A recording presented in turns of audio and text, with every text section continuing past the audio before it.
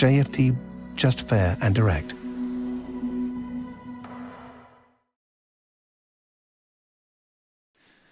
Okay, hello and good morning everyone. Welcome to JFD Traders Espresso recording with me, Darius Anucauskas. Um, today's the 19th of January 2022, guys. Uh, so, yep, welcome everyone. Welcome to this, um, yeah, as I said, Wednesday's recording. Um, so, as always, we're going to have a quick look at the markets, a few of the charts, the usual stuff. But before we do that, as always, let's quickly have a read through our uh, risk disclaimer. So, the content we produce does not constitute investment advice or investment recommendation, should not be considered as such, and does not in any way constitute an invitation to acquire any financial instrument or product. As always, I'll give you a few seconds to read the rest and we can continue.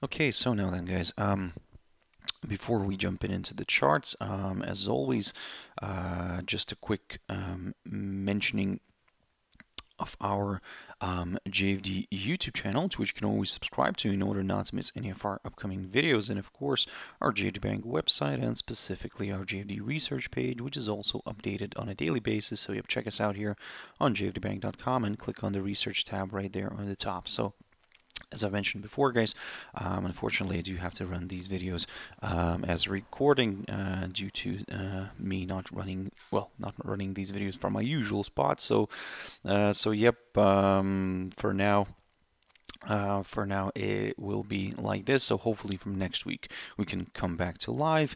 Uh, but of course I'll keep you updated on that. So um, so now then, jumping, let's jump into the charts, guys. Though, yep, finally, Nikkei. Um, so Nikkei dropped uh, through its lower side of the triangle pattern, as you can see here, and uh, yep, it stayed below it, and, and it also dropped below this 27,889 zone confirming a uh, forthcoming lower low here and also managing to overcome actually the um, this low here the lowest point of December near the uh, 27,594 zone. So and managed to stay below it. It came very close to testing the uh, lowest point of October but just fell shy by a few points from doing that. And as you can see um, it is not looking good here.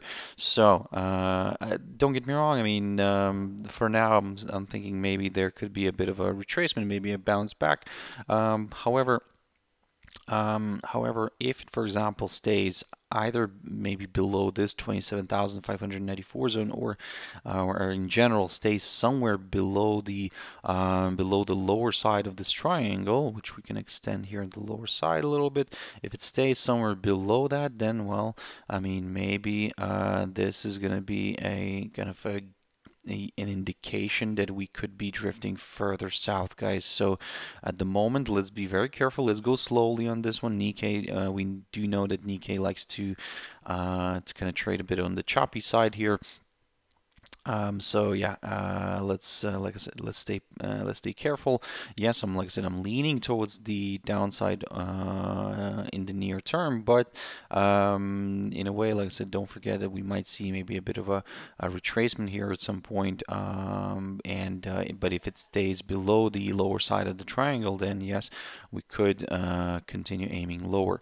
Now, Shanghai Composite. So Shanghai Composite here is um, also also drifting lower, and or should I say, uh, it also drifted lower. It's still trading. We still have around half half an hour left because I'm running this recording half an hour before uh, my usual uh, live uh, videos. So yeah, I mean we do have, uh, like I said, half an hour left here of trading on on Shanghai Composite, and uh, yeah, look at this. I mean, I kept on talking about this idea, and I was saying that this whole week, and I was saying that um, we might see that. Yeah, we might see that reversal reversal. Yes, we got that reversal and we climbed back above the 200 day EMA. However, maybe it's going to be something like we um, like we had here, for example, re uh, recently, where or or back here in in August, uh, when initially yes we drifted lower, but then the next day we kind of climbed back above this, uh, or the next trading session we climbed back above the uh, the 200-day EMA again, and then actually after a while we reversed to the downside and fell below the 200-day EMA again. If we do that again, Mm, if if that's going to be the case right now, well, um, yes, uh, it is going to be quite interesting because if we drop again and if we continue uh, and we continue to trade below that 200-day EMA, well, maybe uh, this could be that uh, good stepping point for more sellers. But again, I'm not saying anything yet. Uh, for now, let's just be very careful because even with the upside, although uh, we are kind of still hanging above this upside line, we're we're kind of still below this downside line. So if you're looking, if you want something a bit more reassuring, then well, just probably wait for a break of that um, of that downside line, and then yes, we could take it from there, guys. So that's kind of the game plan. And also, if you're looking for something reassuring for the downside, keep your eyes on the current lowest point of January near the 3,519. So yeah, and then we'll take it from there.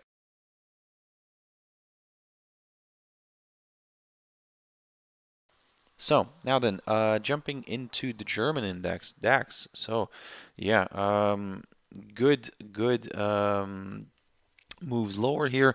if you remember yesterday in, uh, in, my morning video, I talked about this one, and uh, I said to you that um, keep your eyes on that hurdle, that 15,880 zone, because if that gets broken, well, I mean, we could see a further, uh, we could see a further move lower here, a, a bit of a, a, drift to the downside. But my my initial target will be this 15,724 zone, which we managed to reach. So that's um, good news, I would say, so for the sellers. But we also managed to overcome it, and we also managed to reach the 100-day EMA, which we also kind of broke uh, just briefly.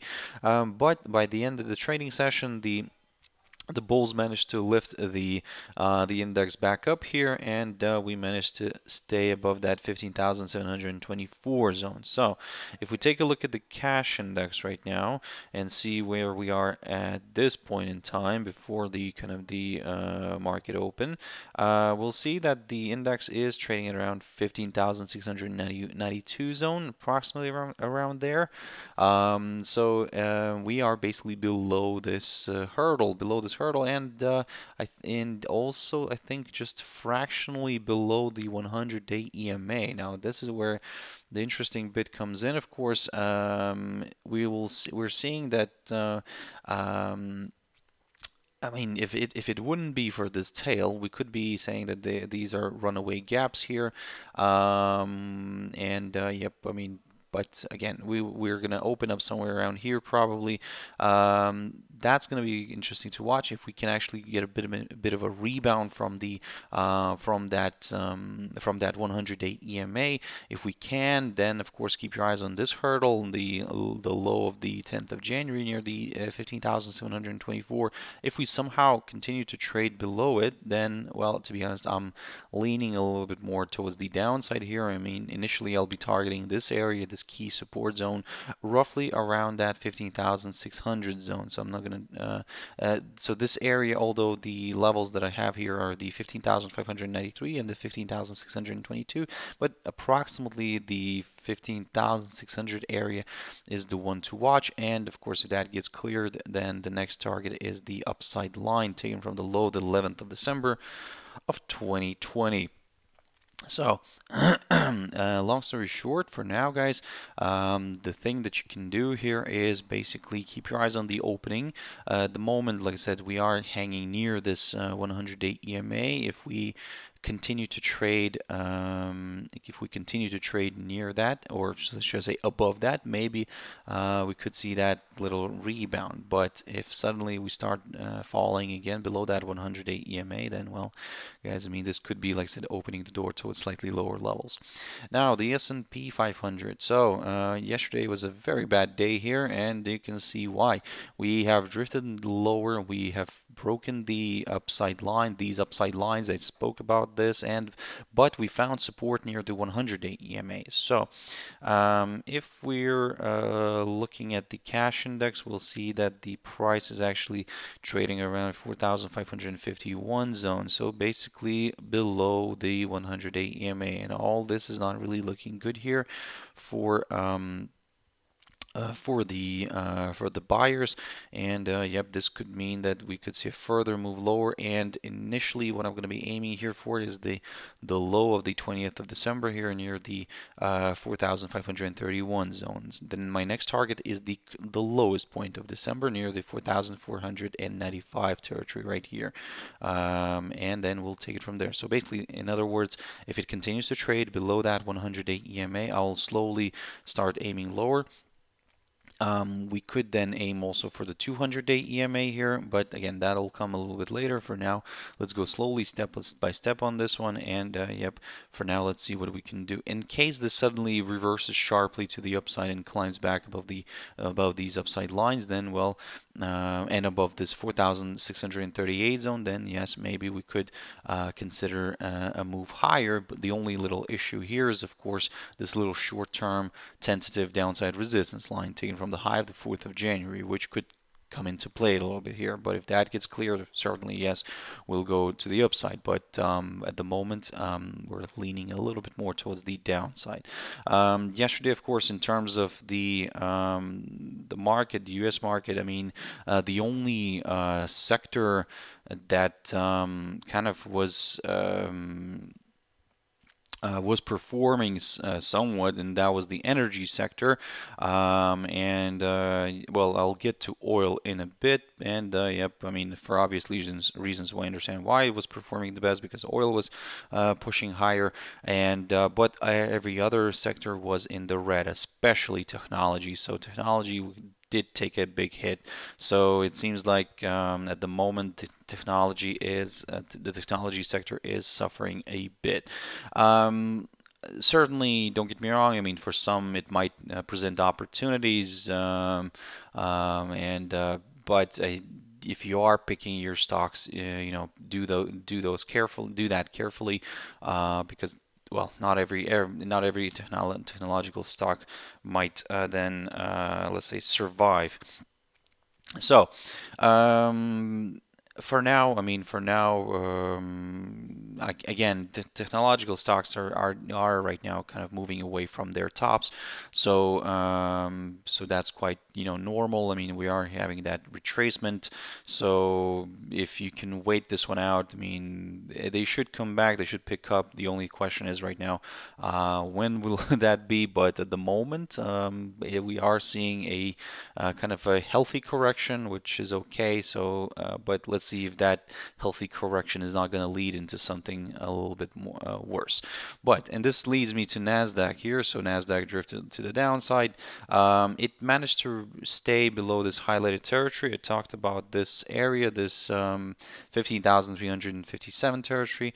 I spoke about that level, this highlighted one, and we stayed below it. At one point, we did try to climb higher, and uh, we did kind of reach that uh, 15,400 and slightly above it level um, but um, eventually it didn't really work out well here and uh, the index drifted lower and managed to reach or I would say came very, very close to reaching the lowest point of uh, January. So um, for now, I would say if it continues to drop lower and if it falls below that lowest point of January near the 15,165 territory, this will confirm a forthcoming lower low. And uh, well, my next target will be that 200 day EMA here on our daily chart.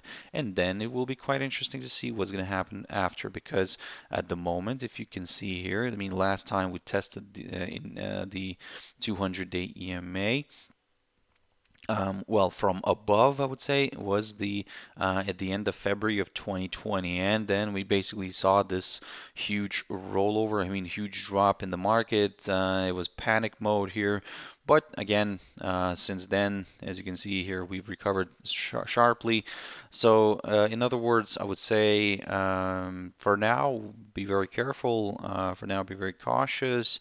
Um, yes, I mean every, the the skeptics, the the pessimists, the the bears are really looking forward maybe for this one to uh, drift heavily to the downside, we could. Don't get me wrong, anything is possible. But um, at the moment, let's go slowly, step by step on this one, and uh, keep an eye on the news, of course, um, on the big, uh, the bigger picture, and uh, let's see um, how the Fed in general reacts to all this because at the moment the talks are that um, the Fed is planning to raise interest rates somewhere around maybe March time but um, again uh, will they go ahead with that? Well we'll just wait and see. Um, but uh, for now for now yeah the, uh, the the general picture here is is a bit gloomy on the indices. So yeah uh, the only thing is we can, what we can do is try to take um, advantage of movement either direction doesn't matter but yeah you know we we just need to do it very carefully and not to be too greedy. Uh, DXY the dollar index so jumping into this one and uh, well there we go. We popped above the 95.52 zone right here so that's good news and uh, yeah, we traveled higher. We all, well, we reached the 21-day EMA.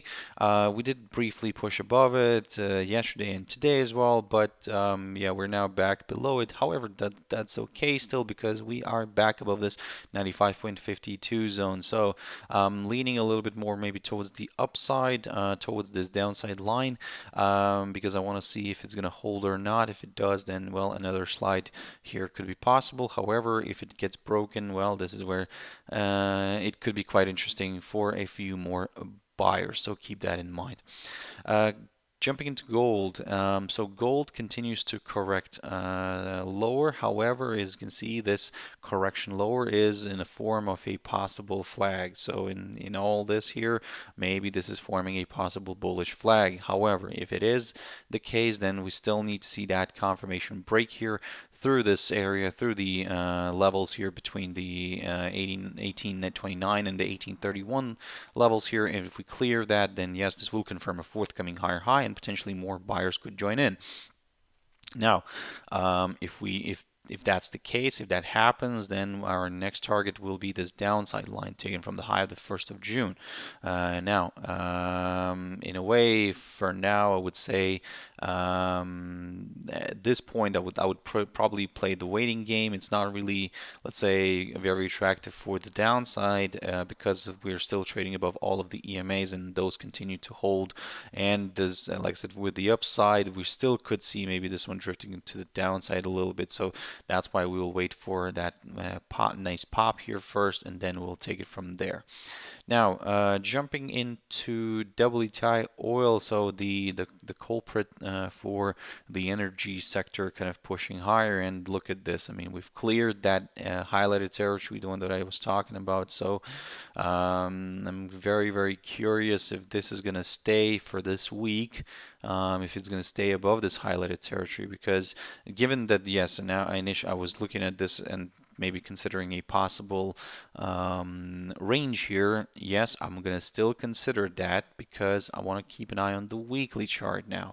So this is going to be my kind of last uh, resort to maybe uh, to consider this as a possible range.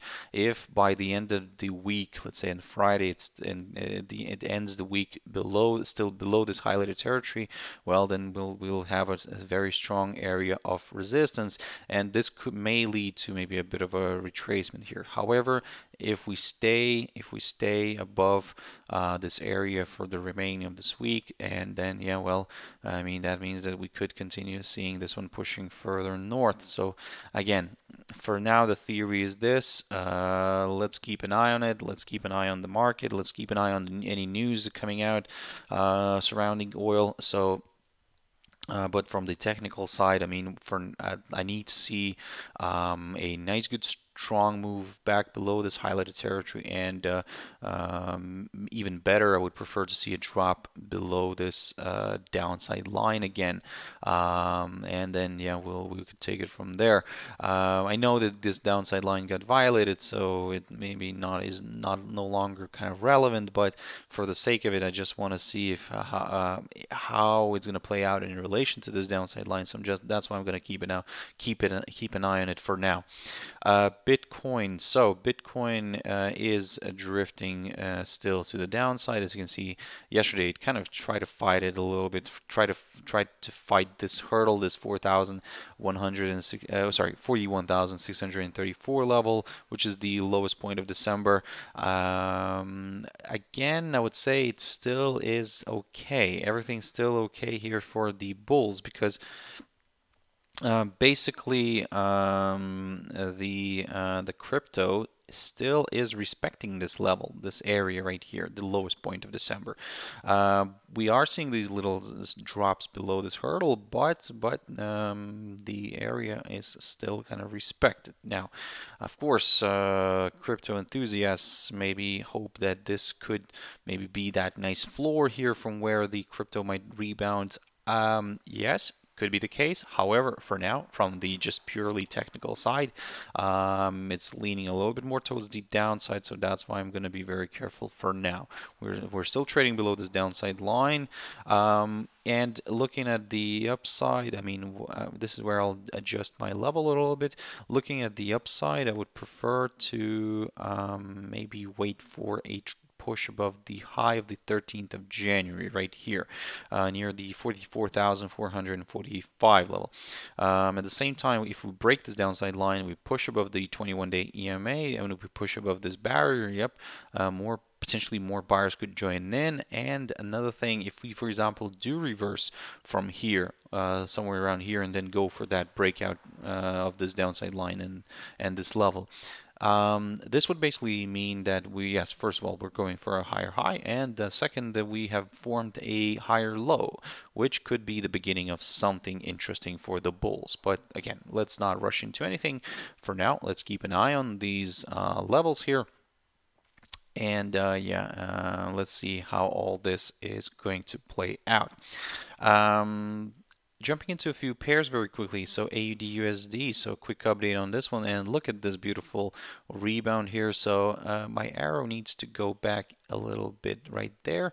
Um, so if this upside line continues somehow to provide support, um, I will stick to the upside because at the moment we're in, at an interesting spot here. As you can see uh, we um, we are kind of stuck in between these two lines. So if you're looking for some higher levels then uh, wait for this one and maybe wait for at least a push back above the 21 day EMA if it doesn't happen and if we break the upside line and we drop below the 0.7130 territory right here marked by the low the 7th of January which is also the lowest point of January uh, then yes that's where I'm going to get a little bit more comfortable with the downside um, and then I'll start aiming slowly uh, to the uh, slowly lower. Mm, my next target will be the 0.7082 zone or uh, maybe even the um, the lowest point of December. That's what we could be aiming for. But again, at the moment, just be very careful. For now, we're still trading above the upside line. If we climb back above the um, above the 21-day EMA, or even better, if we climb back above some of these levels here, the 0.7229, then yes, uh, we could maybe consider uh, a bit of a move to the the upside. Um, jumping into AUD CAD. So, of course, for obvious reasons, this pair is drifting lower. I mean, we have the Canadian dollar, which is benefiting from the stronger uh, uh, oil price. And, uh, yep, uh, we have managed to reach this area. I talked about the uh, this hurdle, the 0.8972 uh, zone. Um, we just fell shy by a few points from reaching it, but to be honest, that's okay. That's quite uh, that we already kind of like I said it's it's already looking good here.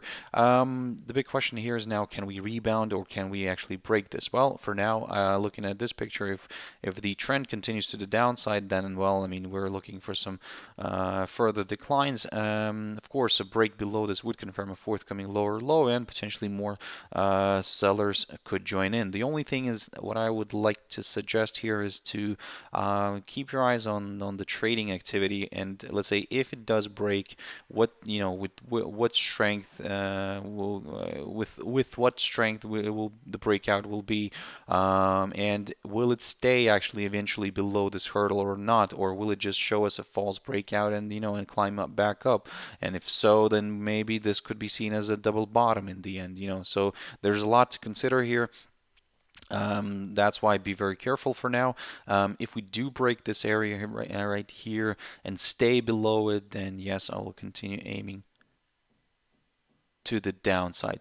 Now, um, so in terms of the upside again that like I said that's the game plan for the upside as well because again I'm looking at uh, this hurdle. I mean if, if it's gonna provide support then yes great uh, uh, great news uh, for the bulls of course. USD uh, JPY so uh, drifted back down and this is where it's quite interesting because basically drift I talked about this pair um, yesterday and I talked about this this these down the, the downside line this upside line is said that although we have broken those, I mean, I'll keep them for now, and somehow they are uh, playing out here, especially this downside line. So we had a, a false breakout yesterday we reached this uh, this 115.08 07 level almost yeah and uh, yep uh, it it provided very nice um, it provided very nice resistance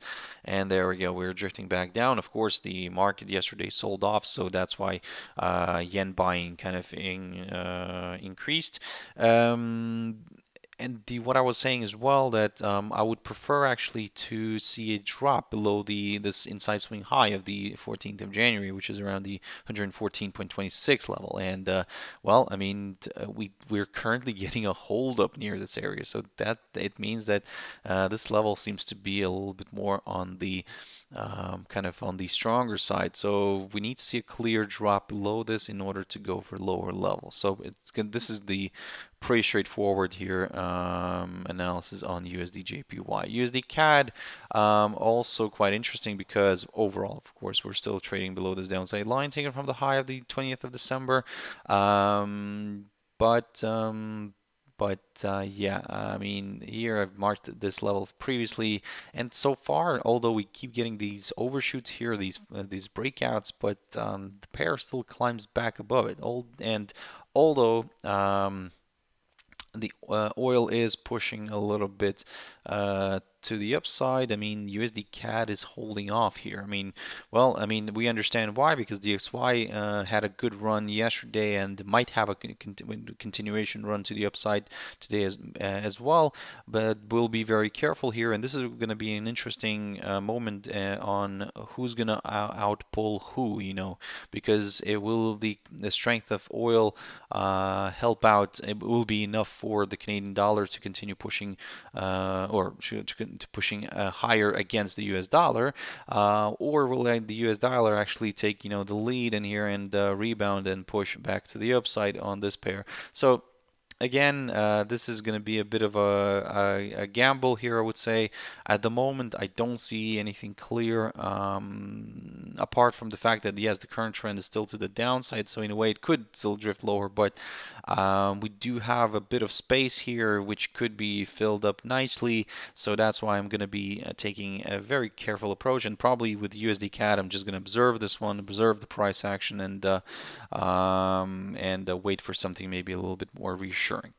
Uh, GBP NZD. So I haven't looked at this one for quite a while, um, but previously when I talked about this, I talked about this at 2.0075 level, uh, which is the highest point of um, August. So excuse me. Um, and the th also the thing that the thing that we are uh, trading above this upside line taken from the low of the 8th of November that also is quite interesting here because um, yeah the steep upside line is still intact but can it be uh, finally a breakout here? Well, uh, probably we'll have to stick to this level as well, just in case. So this 1.9940 zone, that's going to be my more comfortable level after a break of which I could consider maybe a bit of a decline here.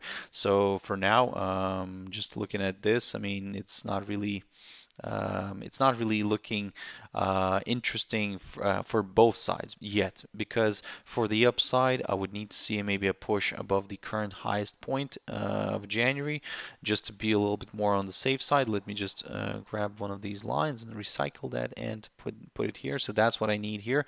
2.0152 a break off. I need a break off that level in order to um, go for some higher levels. Uh, for the downside as I said, I need to see a drop below this 1.9940 zone.